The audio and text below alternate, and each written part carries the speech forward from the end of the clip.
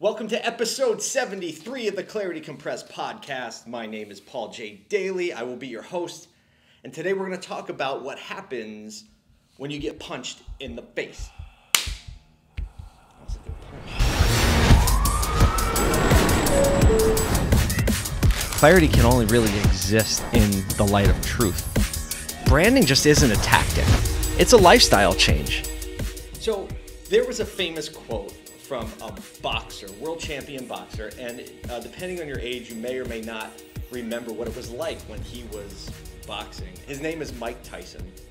So uh, he had an awesome video game, by the way. If you were back in the day, like my first gaming system was the original NES, and Mike Tyson's Punch Out was one of my very, very, very favorites. But either way, I digress. Boxer, famous, named Mike Tyson, and he was very um, sensational, and he said a lot of things, and not many of them were profound. Well, you know, I've been, you know, You know, he's a showboat, and uh, you know, it was a lot of fun to watch. He was an entertainer more than anything, but incredible boxer. He used to knock people out with like the first punch, or like with one punch early in the fight. Was infamous for that. And he said something that I think was really profound. I want to share it today. He said, "Everyone's got a plan," and I'm paraphrasing. Everyone's got a plan until they get punched in the face. And what he meant by that was boxers would come in the ring and everyone got an approach. This is what I'm going to do. This is how I'm going to react. This is how long I'm going to last. This is my conditioning. And they have all these plans of what they're going to do. And then they get punched in the face and it all changes. And they find out the truth. So today, I hear a lot of people talking about, like, what is your truth? I think in a lot of ways, if you live your life in the sense that you operate by what is your truth, I think that can be misinterpreted in a thousand ways. And often, your truth is a lie. The truth is what happens when you're under conflict. It's what happens when you find out what you're made of because something comes at you that you didn't know. So, in that moment, your truth doesn't matter. The reality is the truth. Let me give you some examples. We'll start with athleticism. So, in athletics, right, you think you're an amazing runner, and then all of a sudden you have to run in conditions you weren't planning for, or the track is different, or the temperature is different, or the altitude's different. And then we find out the truth about how adaptable and what type of athlete you actually are. Let's talk about relationships for a second. I love talking about relationships because I love people, I love connecting and I have been in a marriage relationship for 17 years. So let's talk about marriage relationships or romantic relationships if you want to go there. There are a lot of times when you could ask me, How is the relationship going? Right? What is my truth? My truth, and I think I've heard this in so many relationships too, so at least it feels good to know I'm not alone. Not letting myself off the hook though. My truth is things are going great yeah, things are awesome. My truth. Then you ask my wife. Then you ask the other person, how are things going? And they might be like, oh, I just feel like we're not connecting. I'm, I'm kind of sad or disappointed, or like I feel like locked in or trapped or not happy. All the things that happen in relationships, right, to illustrate the point. So, is your relationship working? No.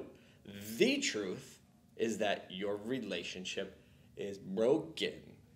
So, my truth and the truth, like the reality is that when conflict comes or the questions come or something we didn't expect come, we find out how strong the relationship is. Happens too, tragedy befalls you, things like that, God forbid. But that's when you find out what the truth of your relationship is. And so um, give me give me another example. Personal finances, right? Great example. Are you financially secure? Yeah, sure, I'm financially secure.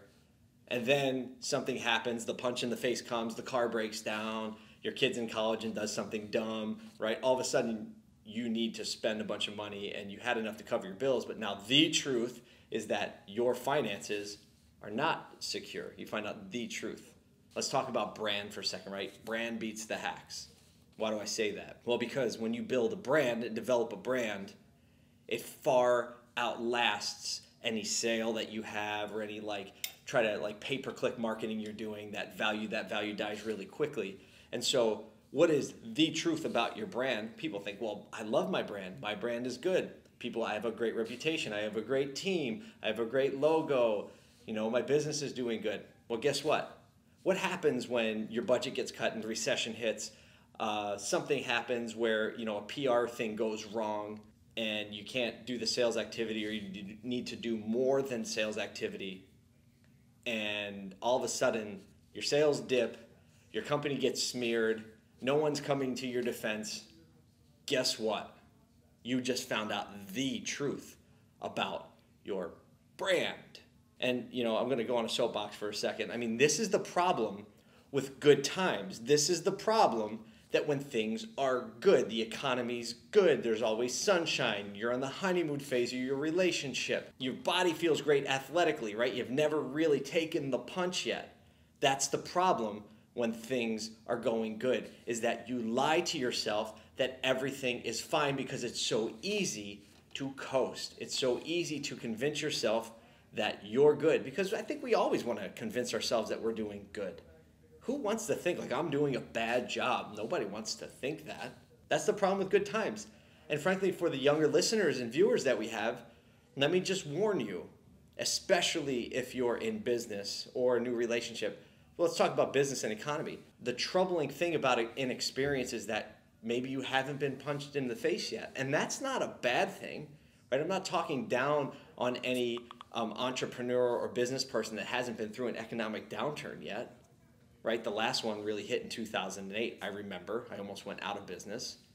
But if you've never gone through that, first of all, I'm really happy you've never gone through it because it sucks. Secondly, I'm really concerned that you haven't gone through it because it's going to be a punch in the face and we're going to find out the truth. And the truth, I know, is a lot of people are going to go under because the good times are rolling right over your best judgment because you don't have that experience. It's a killer. So, the good news is you can do something about that. Like, what's the solution? Ask you right today, it's good to constantly test these things. Test yourself. Put yourself in situations of conflict so that you can understand what you would do in the conflict, obviously in a controlled way. Don't like throw your relationship or your marriage into conflict just to see what happens. That's a bad idea. No one's relationships have enough conflict. You don't need to create any. But either way, pay attention when that conflict comes so you can really honestly ask yourself what is the truth about my relationship? What is the truth about my level of preparedness? What is the truth about my financial security? What is the truth about my business and my brand? Be willing to ask the question and be willing to face the answer so then you can prepare for the punch. Like if you trained in a way where there was never any conflict, like you would just suck when game time came. Why? Because there's no one on the other side of the line wanting to rip your head off when the ball gets snapped. You know? You get it? I think you get it. So that's what I want to talk about today. You know, times are really good right now. Economic times are really good. It's easy to let it roll.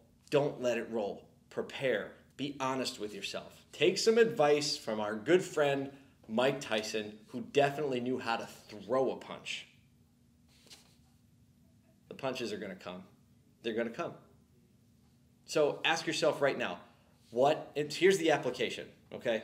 All of that to get you to this application today. I want you to be able to walk away with something you can immediately apply to your life and hopefully get some benefit, some value, some growth out of. It's something that I wish somebody would have told me 20 years ago, 15 years ago, somebody i wish somebody would remind me of this every day because again it's so easy to lie to ourselves about our actual situation. It takes discipline to be and discipline and humility to be able to see what it really is. So question of the day is what are you lying to yourself about?